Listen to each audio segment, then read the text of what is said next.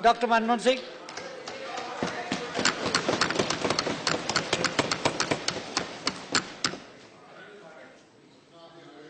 Mr. Chairman, sir, I rise to highlight some of the problems that have arisen after the decision to demonetize 500 rupees and 1000 currency note. Prime Minister has been arguing that this is the way to curb black money, to prevent growth of forfeited currency note, and also to help in control of terrorist finance activities. I do not disagree with these objectives, but uh, what I do want to point out is that in the process of demonetization, monumental mismanagement has been undertaken with, about which today there is no two opinions in the country as a whole.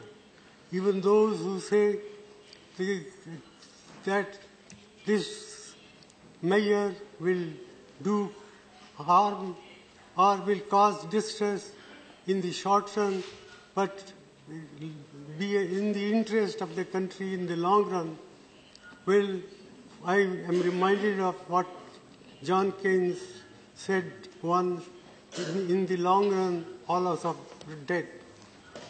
And therefore, it is important to take note of the grievances of the people, the ordinary people who have suffered as a result of this imposition on the country overnight by the Prime Minister. And I say so with all responsibility that the outcome, we do, not know what will be the final outcome. Prime Minister has said that we should wait for 50 days. Well, 50 days is a short period, but for those who are poor and deprived sections of the community, even 50 days torture can bring about disastrous effects.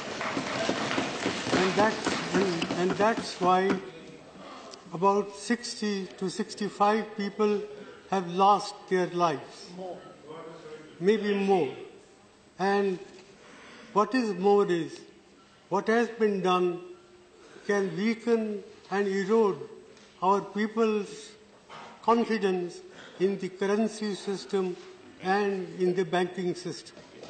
One, I would like to know from the Prime Minister the names of any countries he may think of where people have deposited their money in the banks but they are not allowed to withdraw their money. This, this alone, I think, enough to condemn what has been done in the name of greater good for the people in the world. And, sir, I would further like to point out that, in my opinion, this scheme of monetization, the way it has been implemented, will hurt agricultural growth in our country, will hurt small industry, will hurt all those people who are in the informal sectors of the economy.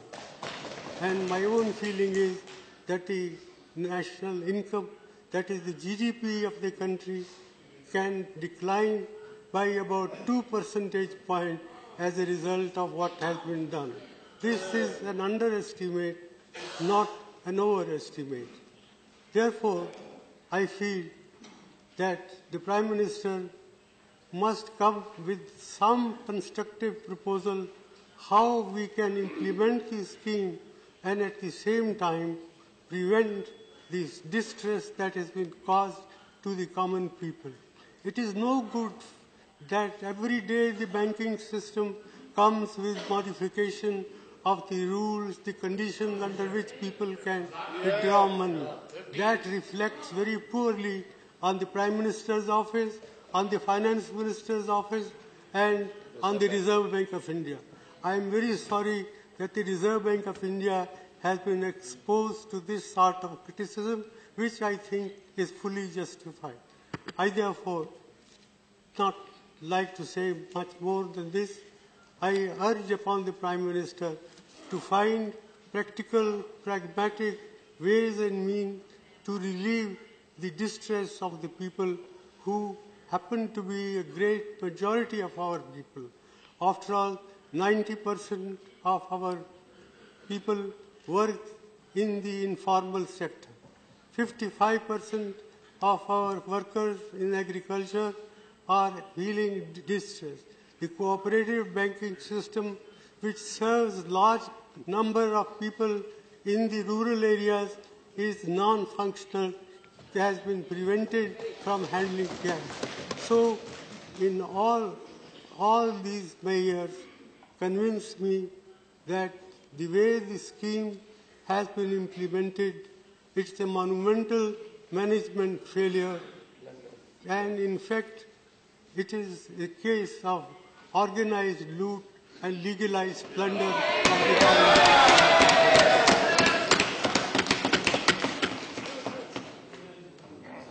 With these words, sir, I conclude it is not my intention to pick holes in what one side does or another side does, but I sincerely hope that the Prime Minister will, even at this late hour, will help us to find practical, pragmatic ways and means to relieve, uh, provide relief to the suffering people of this country. Thank you. Thank you.